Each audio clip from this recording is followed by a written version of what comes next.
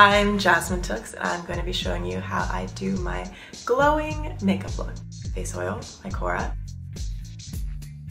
See, you already have a glow. Wonder Glow by Charlotte Tilbury. Warm it up in your hand. Then I like to use these sponges that you can get like at a drugstore, anywhere. I go through them so much and I just like to throw them out. These palettes by MAC are my absolute favorite because for girls with darker skin like me, it has literally everything you need. I mix everything, kind of go around everywhere. I think if I wasn't a model, I would honestly be a makeup artist. Take the darker colors.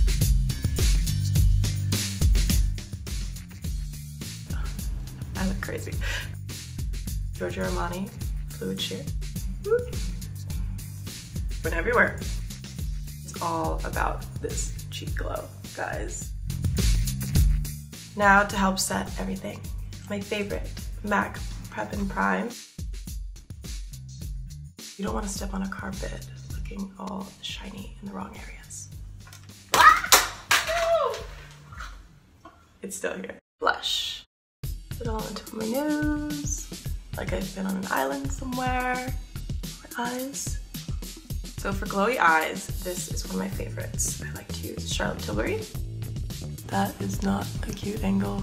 This one I love because you can get it at like a drugstore. It's Revlon. I apply this one from the inner corner going outwards. This thing always really scares me, but you gotta do it. During the day, I only like to apply mascara on the top because throughout the day, if you apply it under, it'll start to fall. And that is not a good look.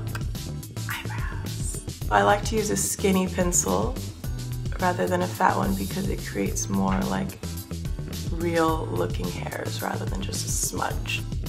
This is my bad brow. It always gives me trouble.